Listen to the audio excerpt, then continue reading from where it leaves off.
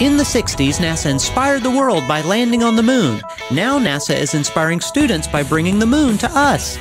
Visit the Kennedy Space Center Visitor Complex for NASA's third annual Lunabotics Mining Competition, May 21st through May 26th.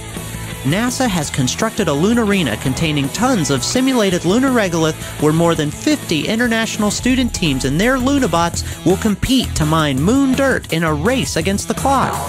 Come cheer on your favorite university in a challenge that pits man and machine against the lunar elements. Plus, check out the latest in robot building, learn about careers, and talk to college advisors at the on site Science Career and College Recruiting Fair.